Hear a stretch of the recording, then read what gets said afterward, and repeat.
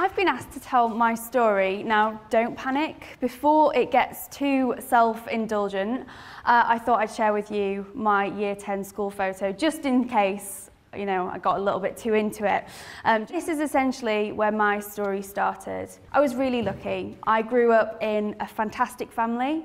Um, I went to a state school just about 30 minutes from Sheffield. Um, and I knew from about the age of 12 exactly what I wanted to do. I wanted to be a barrister. Um, I knew exactly where I wanted to study. I wanted to go to Cambridge. I pretty much picked out my course. Um, and it was from about this age that all those plans started to fall apart. Uh, now, I went to a technology college. What that meant was that for my GCSEs, I had to choose some sort of you know, resistant materials, systems of control, cooking, kind of textiles. And I decided that I was going to take resistant materials, mainly down to the fantastic teacher that took it, Mr. Stokes. Um, he was really, really inspiring. And it had absolutely nothing to do with the fact I was going to be one of two girls in the class. Can I just put that out there now? Um, and I really enjoyed it. I enjoyed coming up with ideas and making things. But I was not looking forward to my coursework because every year every student in the class had to do a topic on storage. And as a girl, I was expected to design a jewellery box. And I really, really didn't want to do it. It was just really boring. There was nothing new or exciting about it. So the day that was announced, I sat at the back of the class and I sulked. And now that wasn't like me. I was fairly academic and I enjoyed school and my teacher could tell there was something wrong. And I said, come on, I want a challenge. I don't want to design a jewellery box. I can go to Argos and buy one for like 15 quid. I don't want to do that. Give me a real problem to solve. And so he did. He told me about his father. Now his father had had a stroke and he couldn't use his stairs. But he needed to keep active, he needed to be rehabilitated, and he needed to have that exercise. And I sat there, I listened, and I thought, and if I'm honest, up to that point of being 15 years old, I'd never even considered stairs. They were something that were just there. They were in, you know, people's houses. Some people had them, some people didn't. They were in buildings. I'd never even taken any note of them. But I thought, okay, I'll go home and I'll do some research. And I still wasn't sure whether I'd won or whether I should have just kept my mouth shut and designed the jewellery box because stairs weren't particularly sexy. Uh, when I was thinking of a challenge, I thought it was going to come up with something that would be like, wow, like, oh wow, that's so exciting. But I didn't really get the whole stairs thing. But I went home and I came across this fact that one in three people over 65 fall on the stairs every year. And I started to do more research and I found out it was a really big problem. There were lots of people who couldn't use their stairs. They, were, they didn't want a stair lift maybe, they were too proud to use a stair lift. Um, they needed something to help them walk. And actually, I came across another lot of research which went on about how important the stairs are. It's one of the only few exercises that some people get. Going, lift it, like when you leave today, just appreciate walking up the stairs because there will come a point in your life when that will become terribly difficult. Now, my dad was an ex-car mechanic and he was a computer programmer and he loved, like, he was the one that would, like, when we got the Lego out, it wasn't really for us, it was for him and he had his Meccano, but no one could use it because actually we didn't do it properly. Um, and I rushed back and I told my dad, I was like, I've got this project. I'm really excited about it, I think. Um, but I'm, I've got a, like a bit of a problem. And my dad said the immortal words, well, it's not a proper product unless it has a motor. Um, at which point I kind of switched off because that really didn't interest me. You see, I had this vision in my head. I wasn't an inventor. I didn't see myself as an engineer or being vaguely creative. But I could see, I'd seen Zimmer frames, like walking frames, and I thought, right, wouldn't it be great if you could have something like that that allowed you to walk up and down your own stairs? If you put weight on it, it locked. If you were to fall, it would give you that stability. And that was kind of my idea. And my dad got his books down, he had quite a few of those, and he started to go through and talk to me about motors and how important they were. And I got a little bit bored and I'm going, yes, dad, yes, dad. And we were actually sat in my brother's room. And my brother has um, a toy, uh, and it's metal stick and it has on it a little bird, which is either a cuckoo or a woodpecker, depending where you come from, and it like goes down the stick. People seen that? Yeah, a few people nodding. That's always a good sign. Sometimes when I talk in schools, people are like, doesn't have a battery, it's not like a games console. Uh, but it's a very retro toy, and I was sat playing with that, going up and down the stick. And I realised that that had a really simple braking mechanism using friction. Back in school the next day to tell my teacher, you'll never guess what I found at home. I've seen this toy, and I want to kind of make it on a bigger scale to prove it works. So the next resistant materials, I got on the bus with my scaffolding pole and my block of wood, uh, and I rushed into class to show them that I could make it work. And there it is. I had this locking mechanism using friction. I had a handrail, people held on to it, perfect. Okay, so they're really nice, fancy pictures that came about four years after that. The picture on the right was actually what I submitted for my GCSE resistant materials project. That was the first ever working model. And what I did was I found materials that some that slid, so had a low coefficient of friction, and some that locked, that had a high coefficient of friction. And I created a mechanism inside the handle that if you let go or you put your weight on it, it would lock. And it would hold quite a lot of, of weight, really. And that was the basis of the product. And my teacher saw it and thought, I know what to do. We're a school, I know exactly what we have to do with this. We have to enter it into a competition. But as you've probably seen from my demo, my little GCSE project wasn't quite of the high enough caliber to be able to show my product. So this is where Reg came in. Reg is like, if you've seen Back to the Future, like Doc in it, like always coming up with mad inventions, except he doesn't do it in a shed in the bottom of his garden. Reg has a multi-million pound engineering firm, and I turned up at Reg's factory with some drawings and my scaffolding pole, my block of wood, uh, and you could see his face thinking, oh my word, what have I signed up for? Uh, and I explained about my product. I showed him the drawings.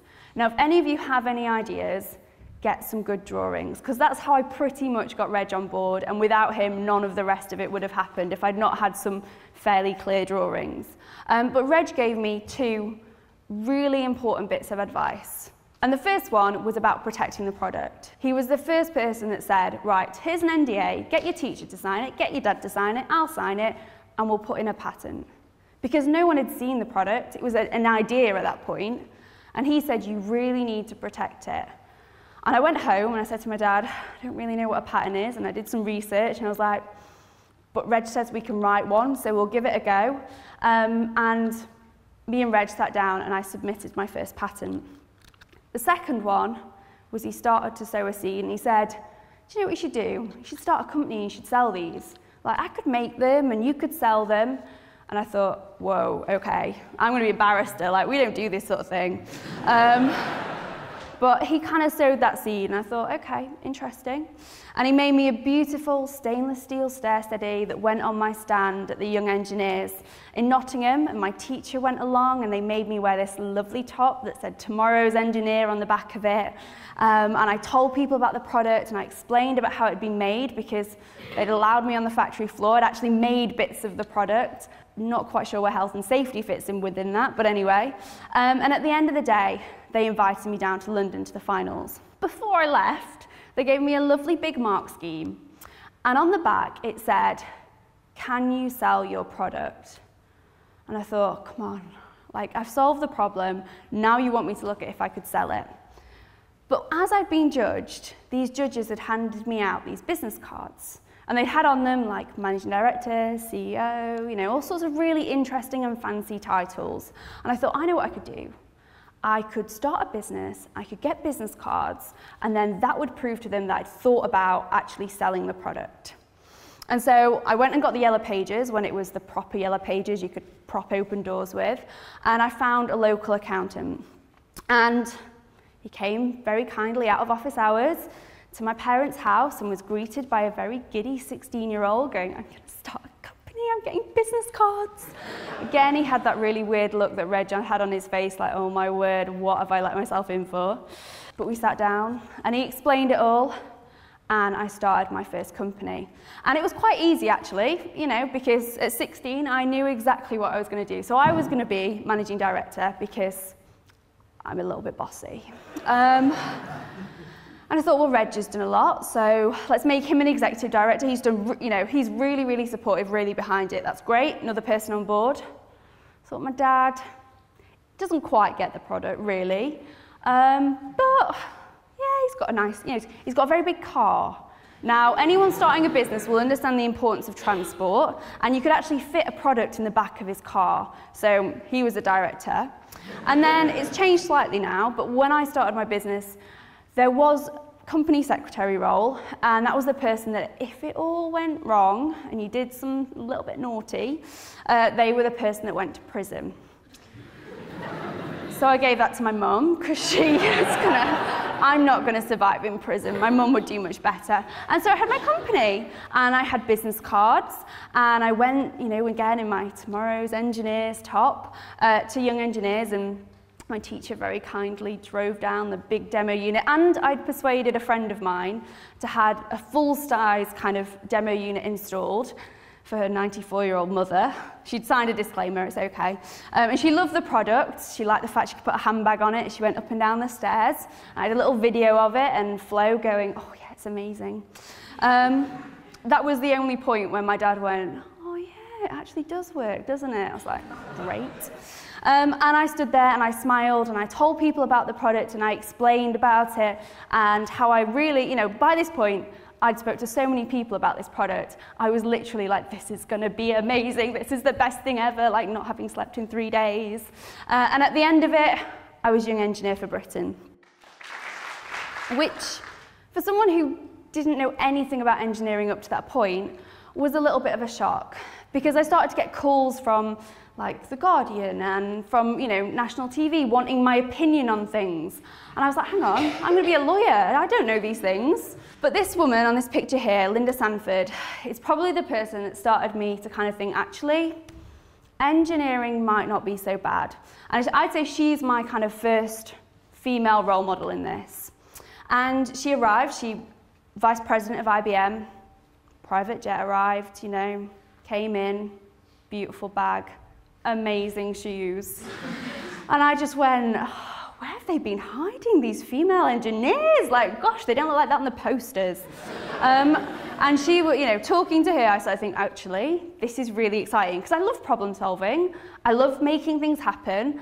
And that's what she did as a job. And it was amazing. Uh, and the next day, they put me on BBC Breakfast TV and News 24 and 5 Live Radio. And I was talking about the product. And my dad had done this little video and that got to go on TV. And he was really excited.